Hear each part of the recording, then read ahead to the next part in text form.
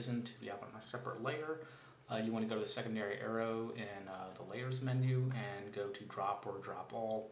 And that'll basically drop it to the canvas level. Once you make sure that it is on the canvas level, you want to go to effects, you want to go to surface control, and you want to go to woodcut.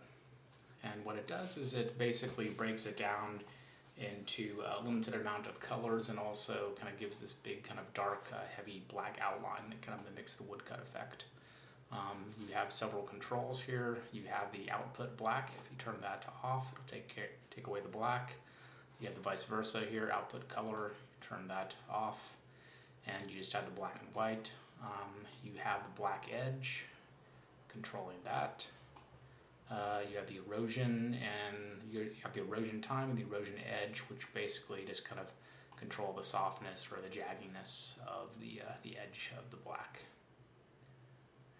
And then you have the heaviness of the black, whether you want it to be like uh, super thick to the point where it just kind of blacks out the whole thing, or you know, it's pretty much up to you. And you can also control the number of colors. You can increase it to the point where it almost becomes, you know, the original image. Or you can take it all the way down to just a couple of colors. Um, you can also control the color edge in terms of how they blend with each other. And you can also change these colors out. So you can go ahead and click this color and then go to your color picker or color wheel, whatever you want to call it, and you can pick colors and more or less kind of replace the colors that are in there.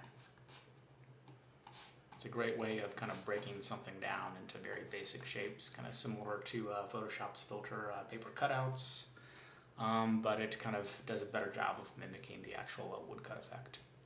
So that's it for the woodcut effect.